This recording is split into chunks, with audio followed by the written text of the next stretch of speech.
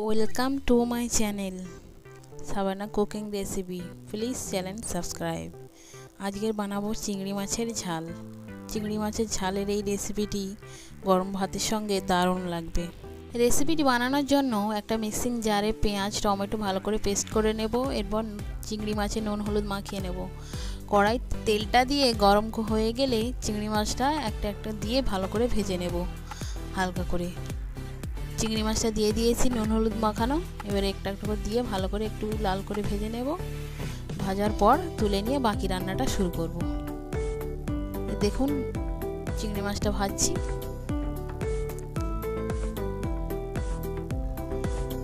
ভাজাটা হয়ে গেছে ওই তেলে।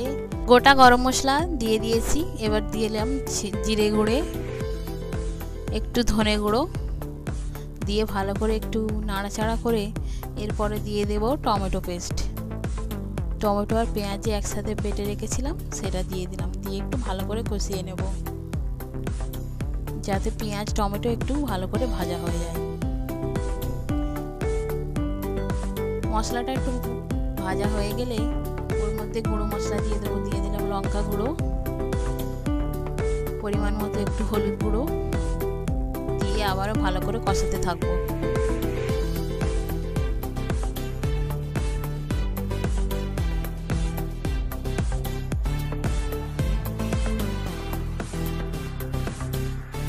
গুঁড়ো মশলা দিয়ে দিয়ে একটু ভালো করে নাড়াচাড়া করে কষাতে থাকব, যতক্ষণ না পর্যন্ত তেল ছেড়ে যায় মশলা থেকে।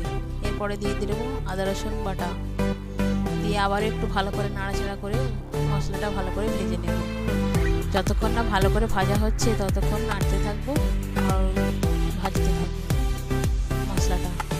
দেখুন সাইড থেকে তেল ছাড়ছে, তেলটা আস্তে আস্তে বেরিয়ে এসেছে, একটু অল্প অল্প করে পানি দিয়ে দেব, দিয়ে আবারও ভালো করে নাড়াচাড়া করতে থাকব।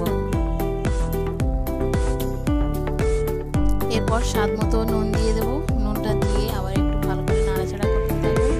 নাড়াচাড়া করা হয়ে গেলে মশলাটা ভালো করে ভাজা হয়ে গেছে। এরপরে পরিমাণ মতো একটু পানি দিয়ে দিয়ে ফুটলে চিংড়ি, ভাজা চিংড়ি মাছটা দিয়ে দেব।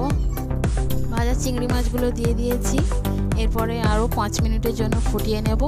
ফোটানো হয়ে গেলে